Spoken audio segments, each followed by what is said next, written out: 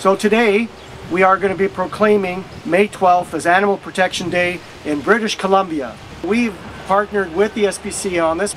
Uh, in the last uh, balanced budget, we provided them with $5 million to work on a capital plan throughout the province, and we will continue to partner with them on these kinds of initiatives. We made a lot of strides over recent years. We have the toughest penalties in the country if anyone puts an animal in distress, and, and today is part of that commitment to safeguard our animals.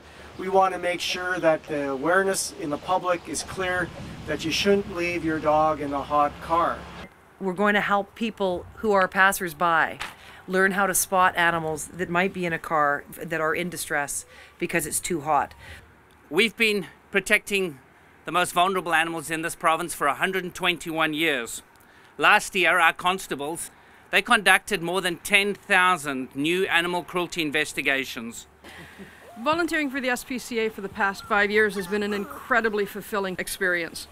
I personally witnessed uh, tragedy turn to triumph when abused animals have been rehabilitated by staff and volunteers.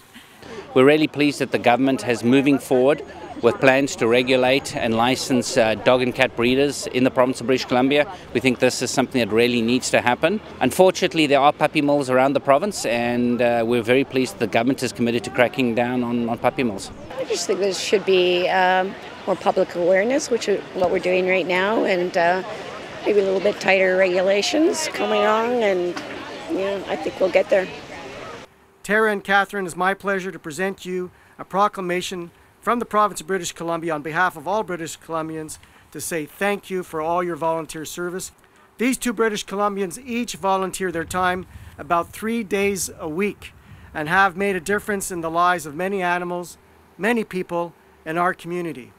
Thank you to the SPCA in particular for the work that you do every day in making sure that animals in British Columbia who are truly voiceless have a voice. Thank you.